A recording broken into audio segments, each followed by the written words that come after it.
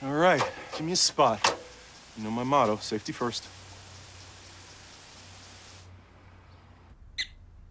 They could be dangerous. I think we should call animal control. Animal control. To be safe. Don't worry. Just I got this. It's a new motto. You don't have to be perfect to be a perfect parent. There are thousands of teens in foster care who don't need perfection. They need you. Música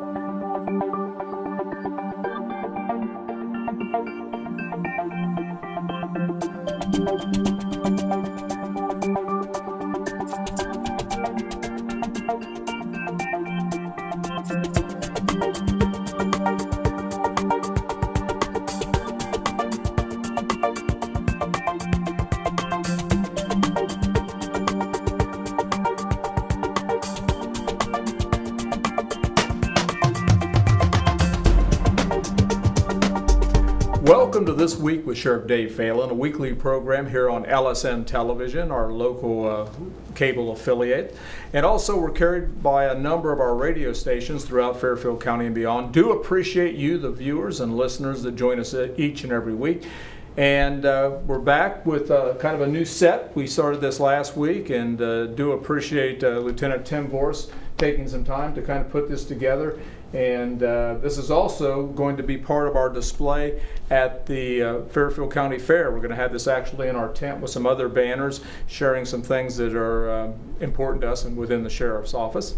Back by popular demand is uh, Lieutenant Alex Lape with the Fairfield County Sheriff's Office. He is in charge of our patrol division, which is uh, just about half of our, our sheriff's office, maybe not quite, but has a lot of responsibility on seeing the day-to-day operations of the sheriff's office, supervising the deputies that you see on patrol, and uh, lots going on. Yeah, yeah, we've been busy this summer. Yeah, it's been a busy summer and, and, and lots of things going on. Now, one of the things I know that you've been doing along with uh, Chief Perigo and some other administrators within the sheriff's office, you've been visiting other sheriff's offices throughout central Ohio. Tell us a little bit about that and, and why are you doing that? Well, the chief deputy, kind of spearheaded this, this plan to go around and observe operations at uh, other county sheriff's offices. Uh, part of the reason we're doing it is to look at uh, some of the uh, detention facilities that they have to, to, you know, we're getting ready to hopefully build a new detention facility of our own. So uh, we're trying to get some ideas on, on that. And uh, some ideas on radios and communications and personnel, and uh, we're just kind of sitting back and observing, and they're telling us how they do business, and we appreciate them uh, ha having us for a visit. Have, have you, do you see a lot of uh, differences between the way sheriff's offices operate? Typically, uh, there's there's not a lot of difference th of the ones that I've seen so far and the ones that I've experienced over the years. Um, a lot of times there'll be the, the major differences are uh, their budgets, um, their, and that would directly reflect on the amount of personnel. Uh, that typically goes hand in hand with their populations. Um, but for the most part, the structure is pretty much the same, pretty consistent. There may be some differences in the ranking structure for their administrative officers, and uh, other than that, it's pretty much the same.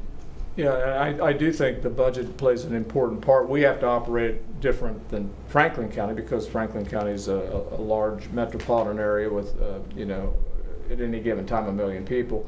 Fairfield County, we're probably about 150,000 people. Yep. And uh, I was struck um, a few months ago, I was actually in McArthur and I stopped at the sheriff's office there and they had one deputy on duty mm -hmm. during that time and uh, they had the dispatcher, and the dispatcher also took care of people that came into the lobby. She did the dispatching. She took the phone calls, and uh, many times those those in those smaller jurisdictions, the there can there's only one deputy for right. the entire county, and they're going on domestic calls. They're going on fights. Right. They're going on uh, robberies in progress, mm -hmm. and and what a dangerous job that is when it, you think about no backup. Yeah, very close. It, it's uh, kind of eye-opening when you go to a smaller jurisdiction, smaller department or office. Uh, well, you know, we've been to a couple where I've come back and I'm like, wow, I feel pretty good about right. about about the resources that we have available to us. But uh, it's um, uh, it's it's pretty uh, it's pretty enlightening when you go in there and you see. And I've done this myself actually, but you see a, a guy taking a phone call, entering the information for the call into the computer system, going out, getting the keys, getting in the car, going on the call, handling the call, and then coming back and typing in whatever disposition for that call. Right. And I've done that, you know, at times on when I was the supervisor on second shift. Uh, we'd get really busy, and I would help out in the radio room. Well, I'd take the information for the call, enter it in there, and then discover that uh, I don't have anybody to send on the call. So I would go on the call and do the same kind of thing. So it's a it's a good learning tool to to, to do that.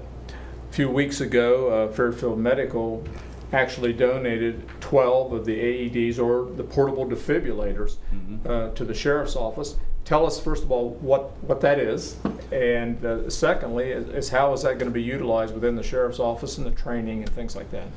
Um, yeah, we were fortunate enough to, as, uh, actually a total of 13 Okay, automatic 13. emergency defibrillators that were donated to us, and um, and we appreciate that very much. It gives us the ability to uh, do what needs to be done in a first responder capacity in the event of a medical of a medical emergency.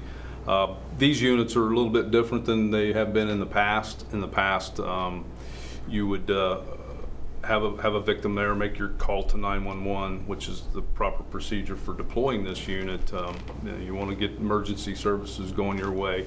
Uh, you would open the unit up. Um, it would talk to you and tell you what to do. Uh, you put the pads on the victim's body, and it would tell you shock is advised or shock is not advised. And if it was advised, you would make sure that everybody was clear of the victim and push the button. The new ones that we have, you don't have to do that. It does everything. I mean, you just put the patches on them, the pads on them, and, and it basically takes over. And it gives you a warning that it, is going to administer a shock, or it will tell you that it's not. Um, there have been instances here in the county where these, these units have saved people's lives. Uh, it's a valuable tool for us to have. Uh, the plan is, is that in each one of our main buildings, at our annex, um, and at our substations, to have, have these uh, units available at the, at those locations. Every one of our frontline cars will also have one of those units able to be deployed from the, from the patrol vehicle, so. Many times, law enforcement is the first responder, even though you may need an ambulance, a fire truck, because we are out in the community all the time. Many times, we are going to be the first one, and you have someone that's in cardiac arrest, when you have someone that's having a heart attack, how important those first few minutes mm-hmm. are during, during any crisis like that. Yeah, yeah, this will be a valuable tool in that event. There's no doubt about that.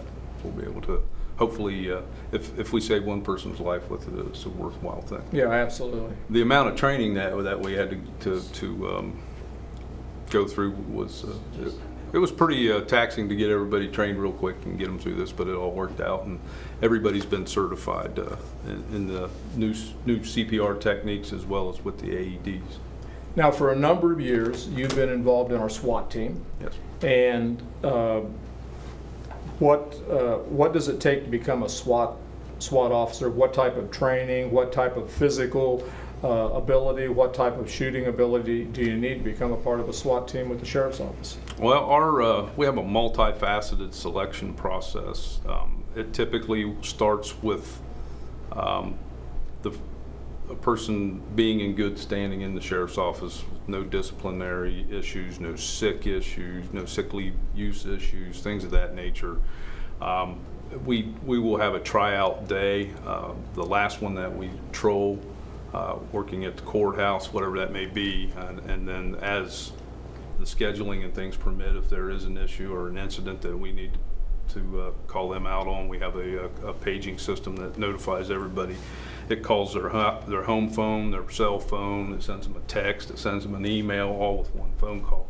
And, and those that are able respond, and those that can't, uh, wish they could a lot of times. Now, a few years ago, you actually came here to Fairfield Christian Academy and you had your SWAT uniform on, right? Yeah, I had all my gear and uh, did a little Q and A with the kids in different classes, and uh, I think that it was.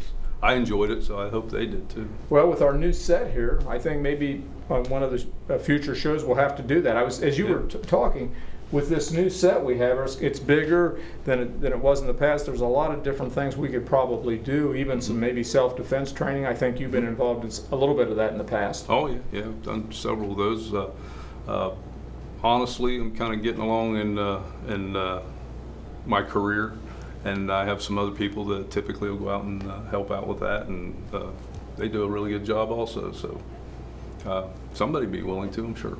What are the type of instances where SWAT is activated? Or what are some of the duties? And I think a lot of times people think it's the barricaded person, but, but SWAT does a lot of different things. Yeah, they? we will, uh, we will do some um, high-risk arrest warrants. Uh, Typically, the majority of things that, that we become involved in, that's probably the most frequent thing that we'll serve. We do a, a risk assessment on any warrant that, uh, that we're asked to serve. Um, And if that, that warrant qualifies by a point scale, then uh, it automatically is relegated to the tactical team or SWAT team to take care of. Uh, We do dignitary protection uh, at different times. All, all the deputies that are assigned to the SWAT team have had dignitary protection training.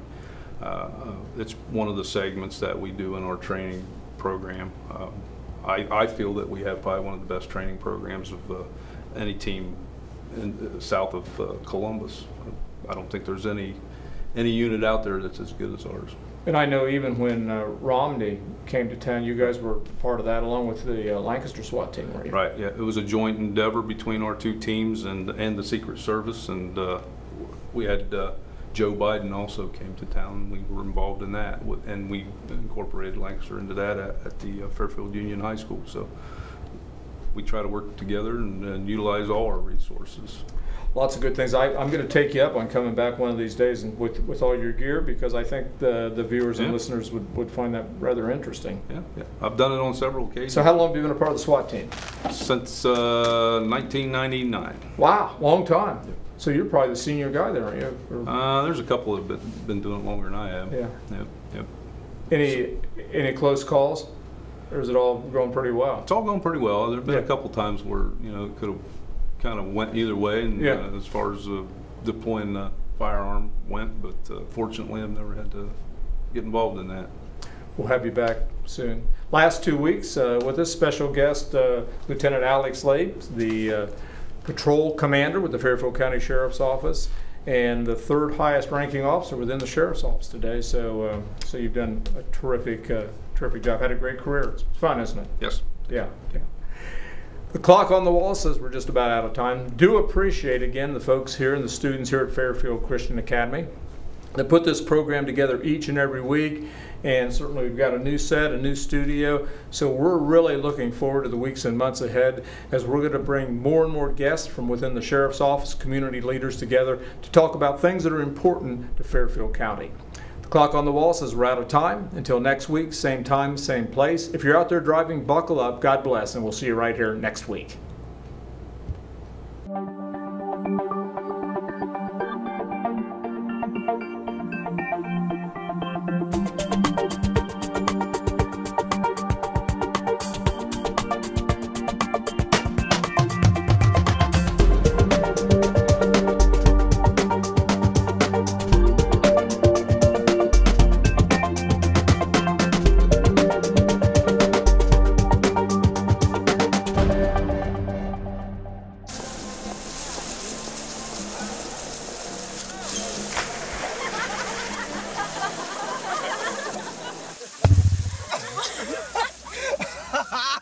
Hey. My dad's one of the producers. He's there tonight.